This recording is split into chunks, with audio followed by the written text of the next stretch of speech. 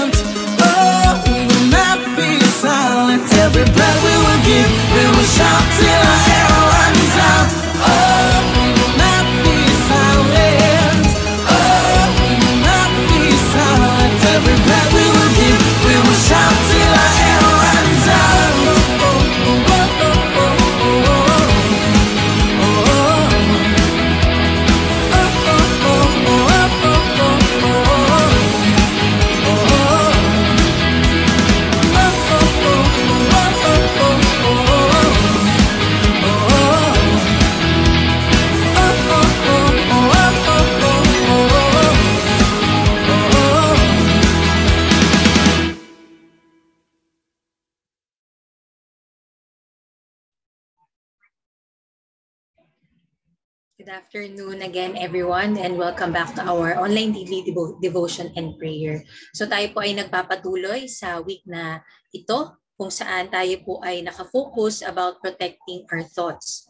Yan. So sa mga uh, napag-aralan na po natin ng mga nakaraang araw, we learned about how yung mga bagay na negative and fearful images, dapat inaalis natin yon Kailangan magkaroon tayo ng uh, change of perspective when it comes to mga failures, dapat hindi natin accept yon.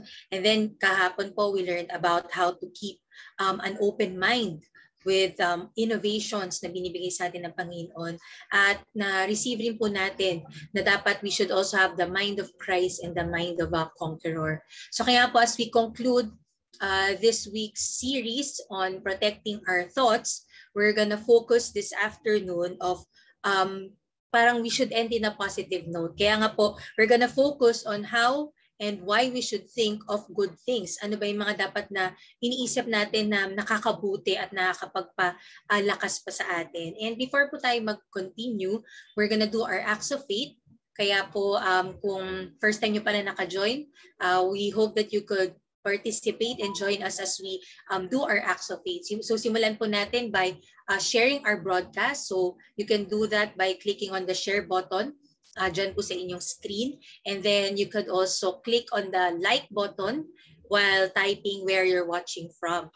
Yan, para po ma-welcome kayo ng bawat isa at patuloy na mas malaman pa po natin ang ating mga um, pinanggagalingan. No? Siyempre, we're a family here.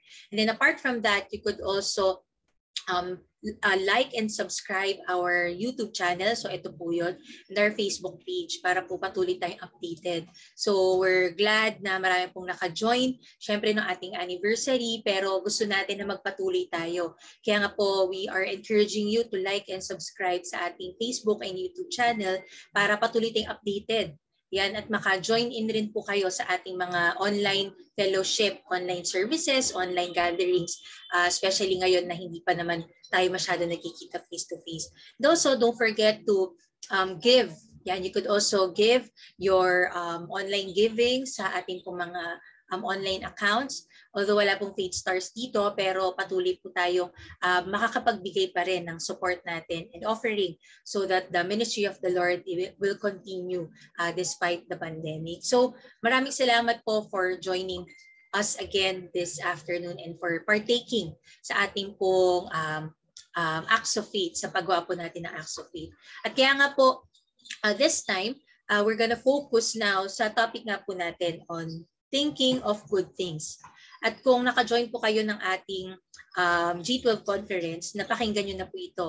And we're just gonna highlight portions of it. At ito po ay makikita in Philippians 4 verse 8 or Philippians chapter 4 verse 8.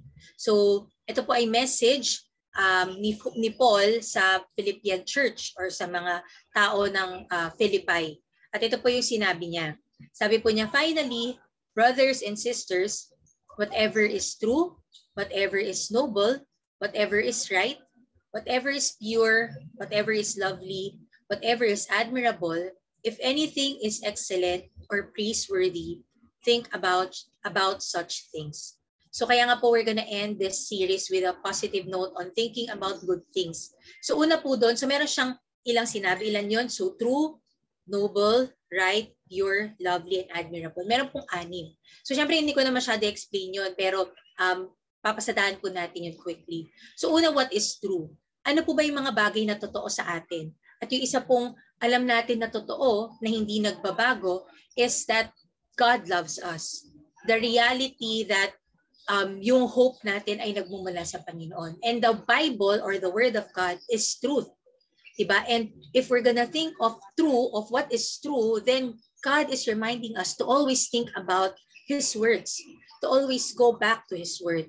So kaya po, if you want to protect your thoughts, you should always think of what is true. So you should feed your mind with the word of God. So yun po yung una.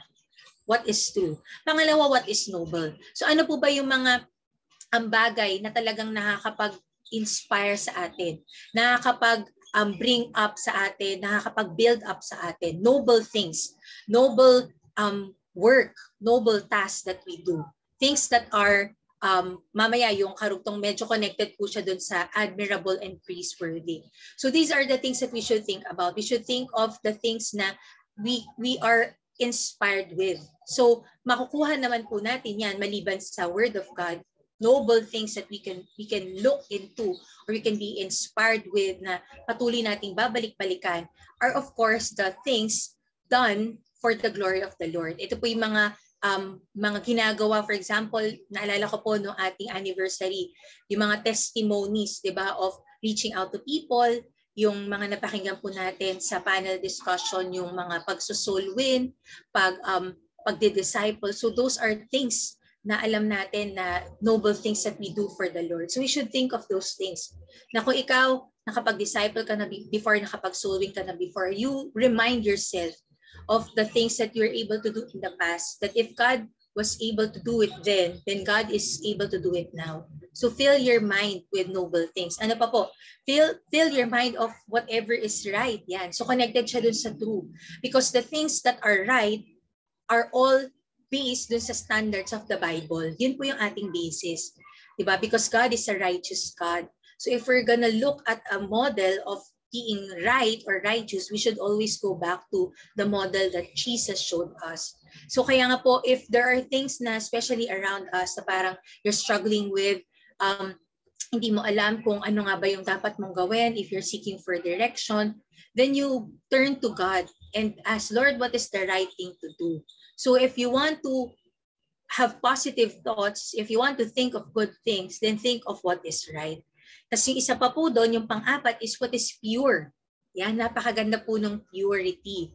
God wants us to remain um, holy and to remain pure of heart, especially in this generation, kung nasaan po tayo.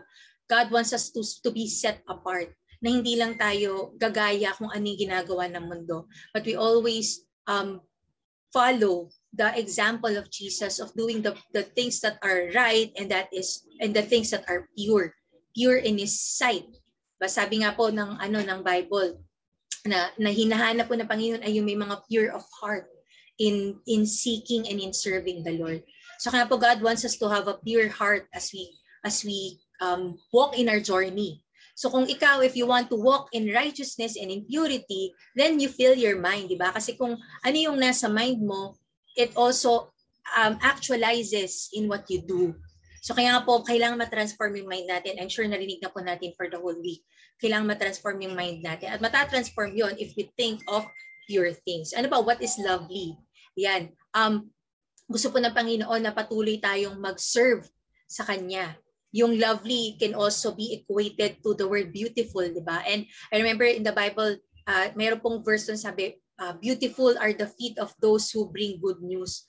So kaya nga po tayo gusto ng Panginoon na we carry the, the good news like through this devotion, yung pagre-reach out natin sa tao, through our cell groups, through our um, trainings. So if you want to think of what is whatever is lovely, God wants us to always think of how we could reach out more to people, how we could reach out more to pag-share ng word niya. At yung last po doon is whatever is admirable.